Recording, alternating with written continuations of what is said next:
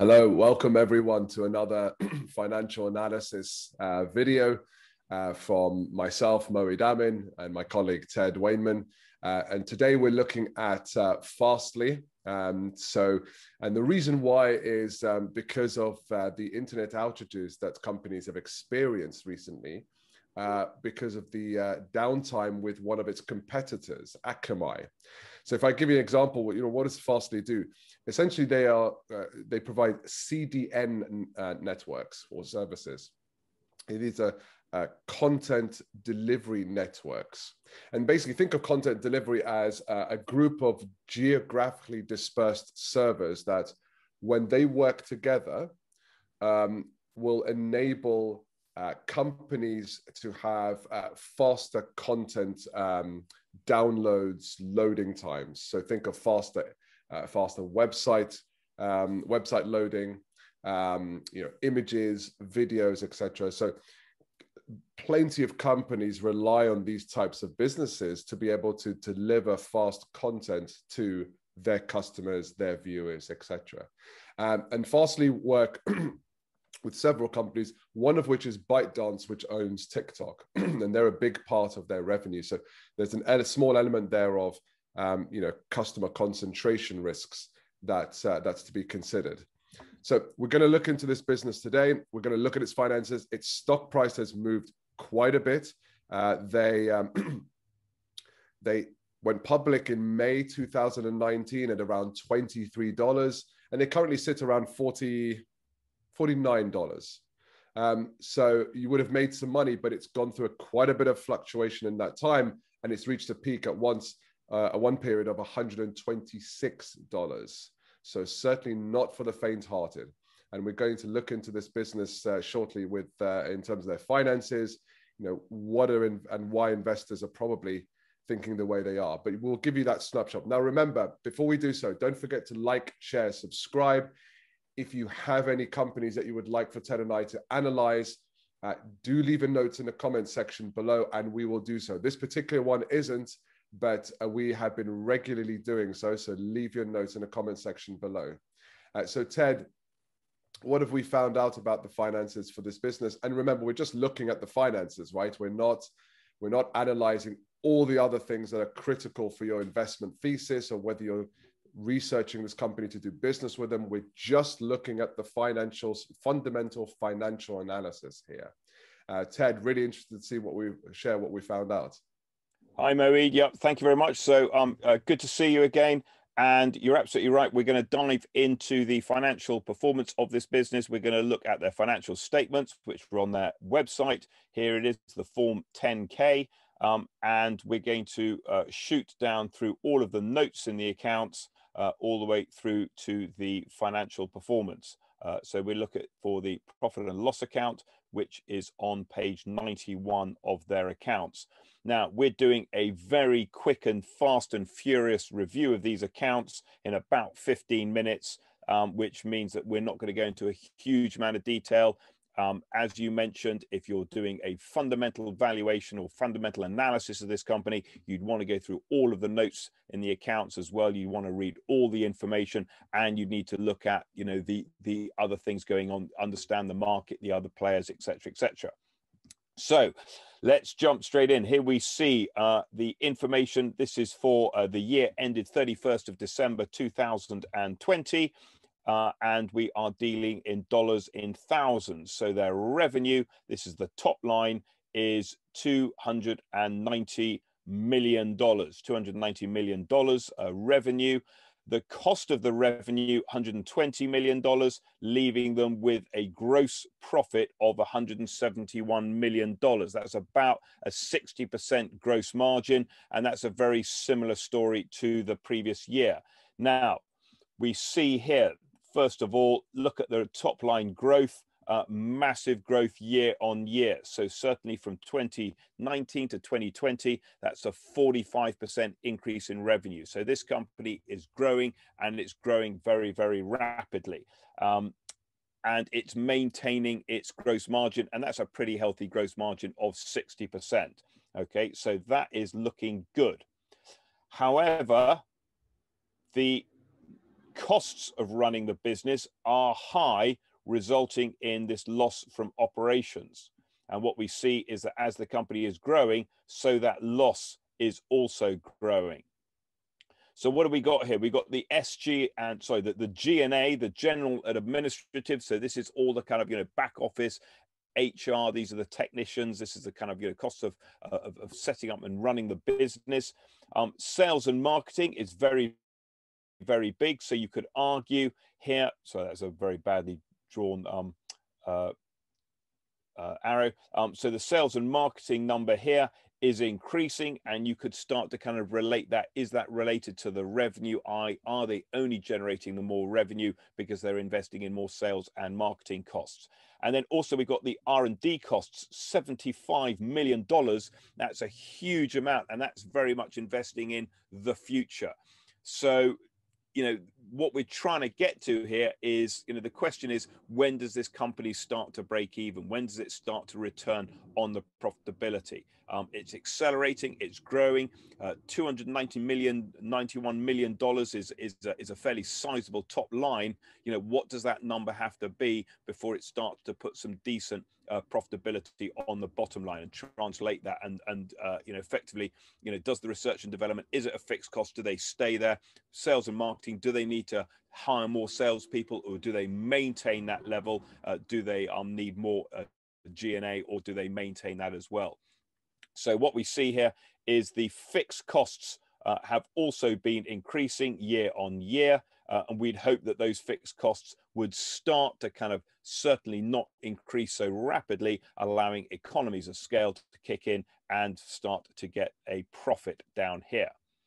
So loss at the moment, $107 million. Uh, we'll notice that there's a little bit of interest uh, on uh, there, down from the previous year. That suggests that the debt has come down. So it looks like they have some debt, but they have less debt than they used to. Uh, and we will look at the balance sheet to see if we can confirm that. Um, otherwise, uh, a little bit of a tax credit um, coming back uh, to them, uh, and they end up with a $95 million uh, loss. Uh, uh, increased from $51 million the previous year and $31 million. So this is a company, they have been making losses. Okay, so there's our income statement. Let's go and have a look at the balance sheet. Uh, and here, here is the balance sheet. Um, now, the first thing we notice with this company on the balance sheet, so we're looking at uh, the, the, the current assets up at the top. So these current assets, these are things that we own, which are either cash or going to become cash soon.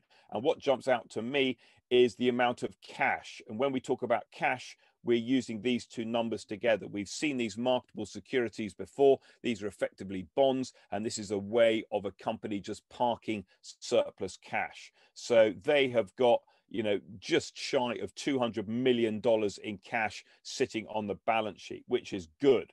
Um, not quite as much as, uh, in fact, an increase on the previous year of uh, uh, 100, what's that, 130 uh, million dollars. Um, so the cash has gone up, loss-making cash has gone up. They've probably been raising finance. We'll see that um, a little bit later on. So pretty strong, uh, pretty strong uh, cash position there. So uh, there's no kind of, um, uh, uh, you know, uh, red line, no kind of wall of, of, of impending doom.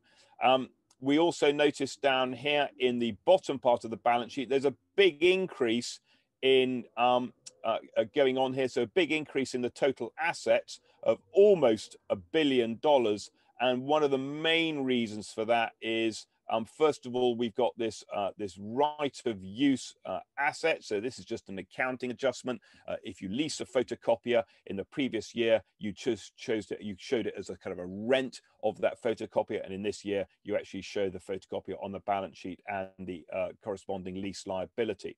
However, the big number jumping out at us is this one here, goodwill. Okay, the goodwill has increased significantly, which suggests that this company, so part of the increase has been that they have acquired another business. They are growing through acquisition rather than growing organically. Um, so let's uh, look at the bottom half of the balance sheet. Here it is. Um, and we see the, uh, so first of all, the, the current liabilities. Um, these are the things that we have to pay soon.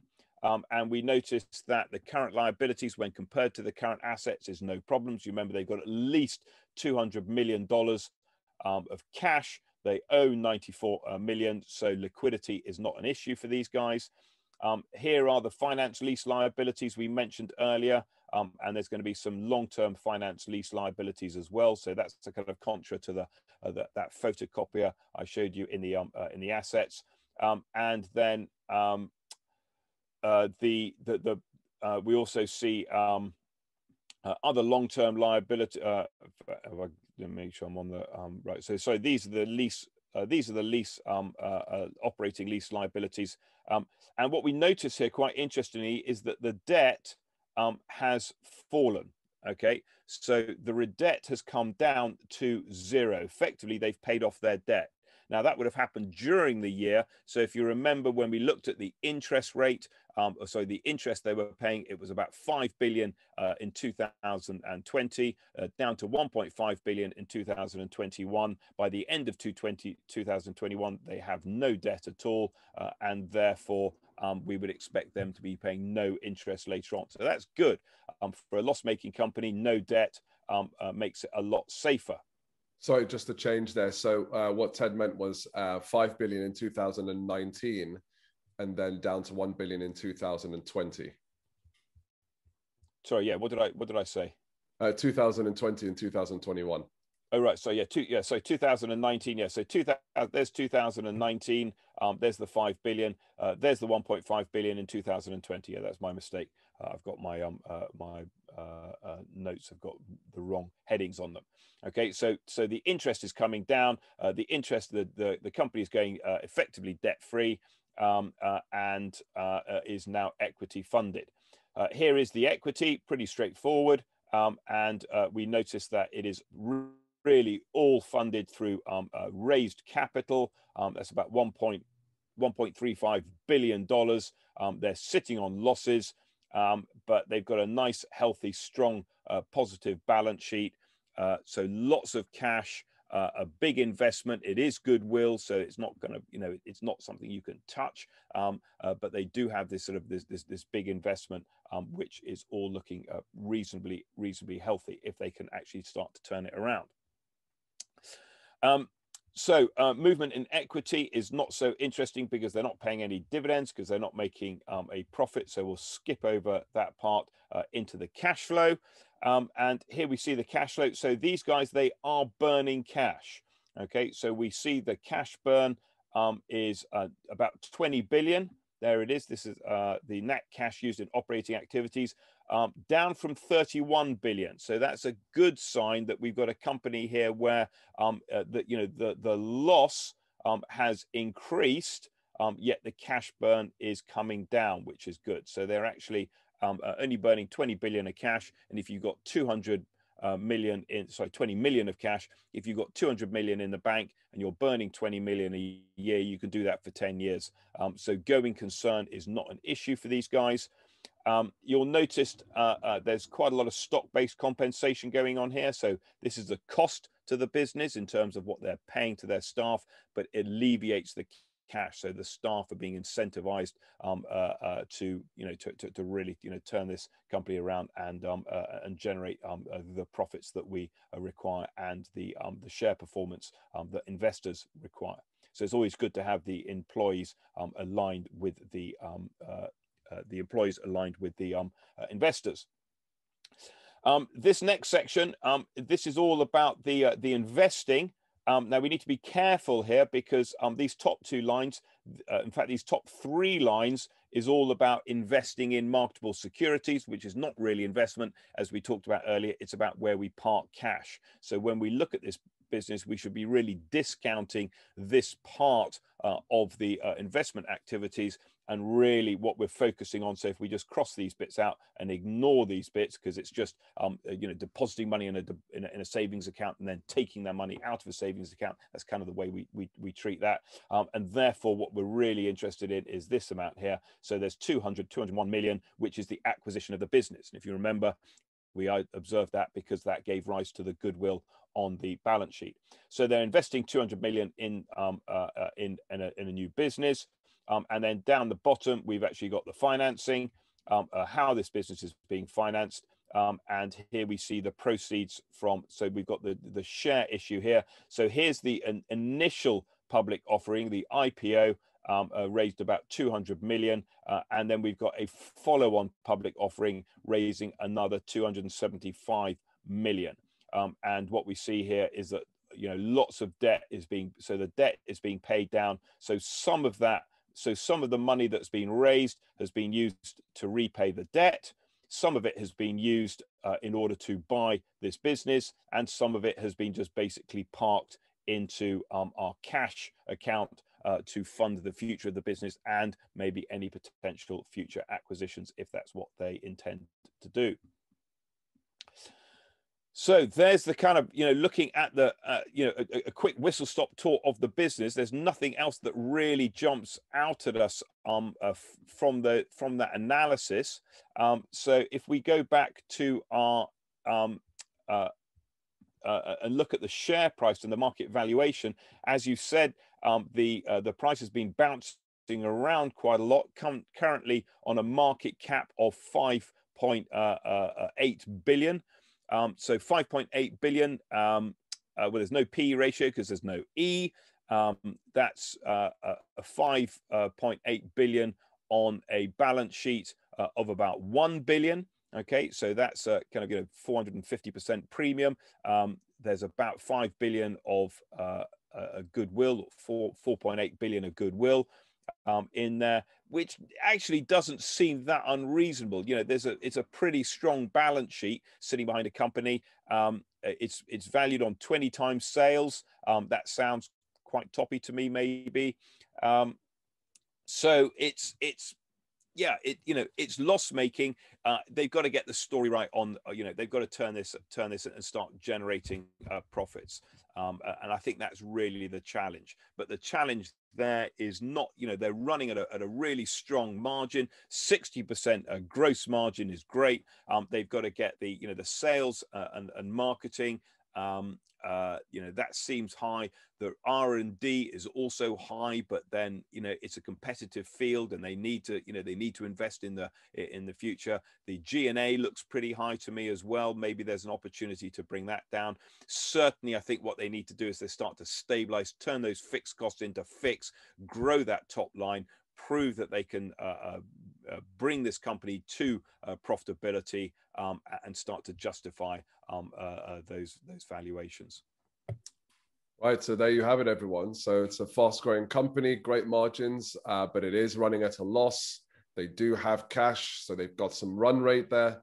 Um, but how soon can they turn the story into a, a net profitability business. Um, and uh, you know, if you're interested, you know, you might want to look at the finances of other companies that they uh, in this sector. So Akamai is a very big one. Uh, it's quite an established business. It's one of the largest, I think, in this space. And then another company called Cloudflare, right? So you can have a look at those businesses as well. But of course, if you want us to analyze those companies for you, do leave a note in the comment section and we will certainly do so. Uh, Ted, thank you very much. And uh, until the until the next video, we'll see you guys later on. Again, please don't don't forget to like, share, and subscribe. Thank you. Okay, see you later, Moe.